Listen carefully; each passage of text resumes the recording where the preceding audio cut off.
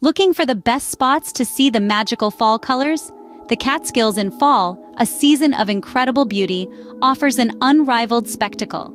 Now let's embark on a journey to discover the top five places to see the wondrous fall colors in the Catskills.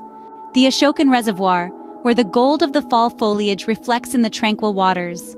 This serene haven paints a vibrant picture as autumn leaves transform into a stunning golden hue, casting a warm glow over the reservoir, a golden spectacle to behold.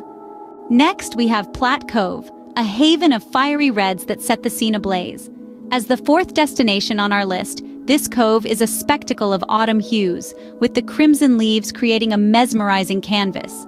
The reds here are sure to ignite a flame in your heart. Moving on to Minnewaska State Park, where the oranges glow like a setting sun. The park boasts a breathtaking autumn spectacle as leaves transform into a fiery sea of orange.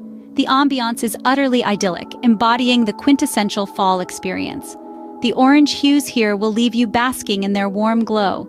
We are now at Hunter Mountain, a multicolored marvel that's a feast for the eyes. Its fiery reds, burnished golds, and bright oranges create a stunning tapestry that embodies the essence of fall. Truly, a breathtaking spectacle, second only to one. A fall spectacle that's hard to forget. Finally, we arrive at Kaaterskill Falls, the pinnacle of fall colors in the Catskills. This natural spectacle flaunts a breathtaking palette of crimson, gold, and tangerine, perfectly mirrored in the serene water below. A sight that's sure to leave an imprint on your soul. There you have it, the top five places to see the fall colors in the Catskills.